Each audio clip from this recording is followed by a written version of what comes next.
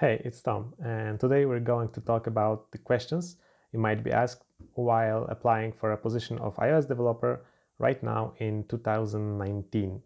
So before we will go to the questions, I have notes here on my MacBook.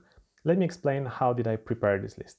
So at first, I asked my friends who recently changed their jobs, and they are iOS developers, of course, uh, what questions they were asked Mm, the second source was me writing to a couple companies I know uh, and asking what questions are they asking people who are applying for a position of iOS developers. And the, the last group of questions was prepared by me. Uh, I was just thinking about what questions would I ask a person who would apply for a posi position of iOS developer, for example, in a company which I'm working right now. Uh, okay, so let's go to the questions. Before we will start with the questions, I noticed that there are a couple groups of, of questions which are being asked during the iOS interview. Uh, so the first group is uh, some kind of coding tasks. I mean, sometimes before you are even uh, accepted for on-site interview, you have to prepare some some app, share some some code, uh, the best source of, of knowledge about candidate is of course GitHub.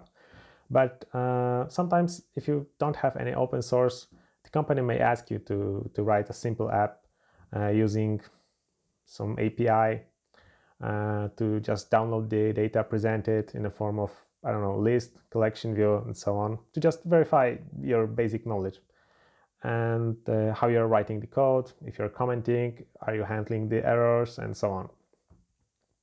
So if you are already um, asked to come for an insight interview, then there are a couple groups of questions you might be asked.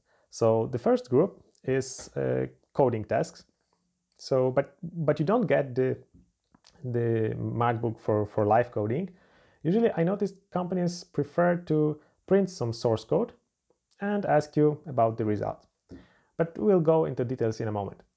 The second group is general iOS questions. So there are questions about the app architecture, uh, app behavior, some, some general things. And the last two groups are Objective-C related questions and Swift related questions. So I, I know that most of you and most of source code for iOS apps uh, are currently um, written in Swift, but there are still some companies which have a lot of apps or a lot of source code written in Objective-C and someone has to maintain that. Mm, they don't mm, move into Swift because of different reasons. Sometimes it might be a banking app and they just don't want to they don't want to change the, the, the core or maybe they have they have some external SDK written in C, C++ and uh, they just prefer the interface of Objective-C, there are many reasons. Sometimes they just don't have enough money to, to write the app from scratch in Swift, so they just keep maintaining the app still in Objective-C. Okay, so let's go to the questions. So the first group was, as I mentioned, the coding task. And in this case, you will get uh, a sheet of paper, usually, with printed source code. And then you might be asked to either um, find out what will be the output of this source code. For example, you will get uh, some tricky switch. Uh, other case might be to find a bug. In Objective-C, it might be a retain cycle, so the strong reference to delegate. Uh, or in a Swift, you might see something like trying to assign something to a, a let variable or forcing unwrap a conditional value which is nil this kind of stuff. Okay, let's go to the next group of questions, the general iOS questions. So the first question is how you can achieve multi-threading on iOS. So in this case, it's definitely worth to mention the Grand Central Dispatch, which is the low-level so solution, and NS operations. Um, you can talk a little bit more about NS operations because there's a lot of cool stuff you can do with with them they are definitely uh, more sophisticated and then let's see what will be the, the next question because mm, the interviewer may ask you what are the differences and so on. Okay, let's go to the next question. And the next question uh, might be something about the memory management or ARC. So ARC is an automatic reference counting. Uh, it was introduced uh, in iOS 4, if I'm correct. So it's a pretty old solution, uh, but still working and still very good. So automatic reference counting helps to manage memory and uh, allows system to know when memory allocated for some object might be released. Uh, this question um, and the question about ARC may lead you to the questions about Objective-C strong and weak references, and, but we'll cover that later. Next question in this section is about the lifecycle of an iOS app. So in this question, you might be asked to list and quickly describe details or differences between different states in which iOS app can be. So there's a state in which the app is not running at all, it's inactive, active, in background, or it's just simply suspended. Let's go to the next question. So the next question is about the life cycle of a view controller. And it's mostly about the, the methods which are being called and in, in what exact order uh, where should you uh, lay out your subviews, where, you, where should you initialize uh, some variables and so on. So it's definitely worth to mention that there is a view did, did load, view will appear, view did appear, view will disappear, and view did disappear. And let's wait for a detailed question from your uh, from person which is interviewing you because um, describing all those methods and all details within them might take you a long time. the last question in this section is my favorite because each person can give you a little bit different answer uh, and it still will be valid. So the question is about design patterns you know you're, you were using in iOS app, in Cocoa you were using in Objective-C, in Swift. What are the differences? Uh, you can talk about it for a long, long time. So I noticed a couple um, patterns that are definitely worth mentioning on interview. So let's go to them. So the first one is the decorator. Uh, and it's worth mentioning because it differs a little bit between Objective-C and uh, Swift. So we have the delegation as a form of the decorator, which is similar on in, in Swift and in Objective-C. But uh, in Objective-C, we had also uh, categories, and in Swift we have extensions, which and both of them uh, might be um, assumed as a part of decorator design pattern, and they are definitely different. The second is observer. So we have the notifications and key value observation. Uh, the next one is singleton, it's widely being used in all languages, all platforms, and so it's it's very easy to to remember. And the next one is MVC, Model View Controller. Uh, the problem on iOS with this pattern was that we have a view controller and models, and as a result, we finished with the massive view controllers, uh, which uh, in most cases were a huge problem. And but recently, uh, we got a MVVM, which is next pattern.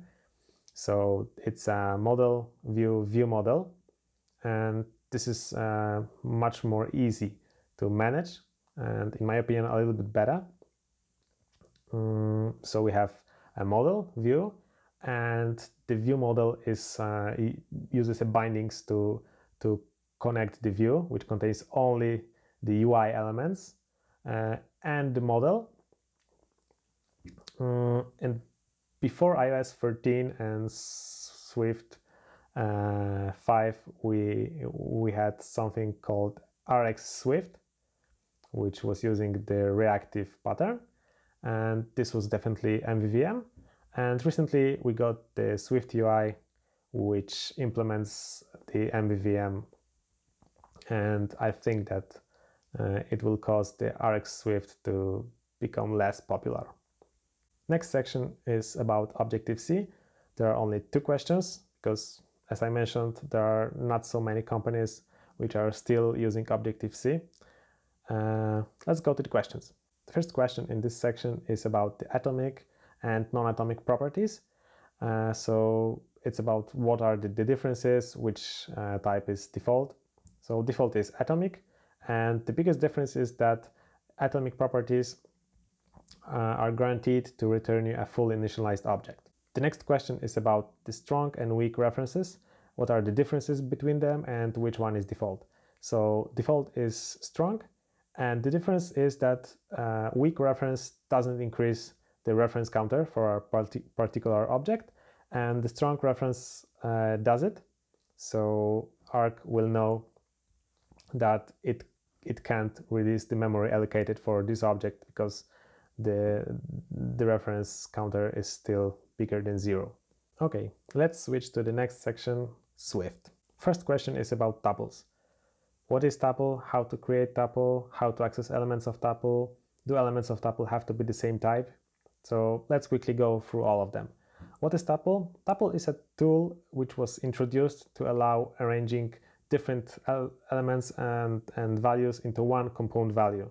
It's much easier to re return a tuple from a method if you have to re return couple elements and you don't want to create a struct or class. How to create a, a tuple in Swift? Uh, just simply put elements uh, separated by comma in round brackets. That's it. How to access elements of, of tuple? Mm, you can use uh, dot no notation. So to get the first element of tuple, uh, let's use the, the tuple name, which might be a parameter, dot zero, and it's the first element, dot one, it's the second element, and so on. Uh, do elements of tuple have to be the same type? No, they don't have to be. Next question is about differences between structs and classes. Uh, this is very popular question, so uh, definitely read a lot about differences and what they have in, in common before you will go for an iOS interview. So classes and structs in Swift have a lot in, uh, in common, uh, but there are definitely two very important differences, in my opinion, that should be mentioned. Um, the first one is that classes can inherit from other classes, while structs cannot. And the second, and this is the most important difference, uh, is that the classes are reference types and structs are value types. So um, in a shortcut, if you create a copy of, of a struct ob object uh, and change this copy, the initial original object won't be changed because it's a, it, you changed a copy, not the original object. And in case of uh, class object, if you will create a copy, it's still a reference to an original place in memory. So if you will change the copy, the original uh, the original uh, object will also change because that's only the reference. They both reference to the same place in memory, the same object. The next question is about keyword defer. Defer is a keyword which provides a block of code which executes when execution leaves current scope. That's a little bit sophisticated explanation, but uh, you probably know what I'm talking about. Next question is about lazy loading. Uh, lazy loading means that the value of lazy property won't be created or calculated until the first time it will be needed in the code. It can save you some, some time while initializing some, some view controller uh, if you know that some element might or might not be uh, needed later on. Another common question in Swift section is question about guard. So guard is a very powerful concept. Uh, it allows you to safely unwrap optionals and eventually quickly exit current scope of, of code. Uh, thanks to guard, we don't have a, um, a, long list of if else, if else, if else. The code looks uh, much cleaner. Last question in this section is about access levels in Swift. So we have open uh, access and public access, which allows our entity to be accessed from any source file within our module, but also from any other module. Uh, then we have internal um, level, which is the default one in Swift, and allows uh, our entity to be accessed from any source file, but only within our current module. Then we have uh, file private, which uh, um, limits access only to the current source file, uh, but doesn't limit that to the current scope. And the last one, private, limits the access only to the current uh, scope. Okay, so we went through the all questions I prepared. Of course, these are not all the questions you might be asked. Uh, it always depends on the company, on the project they are working on.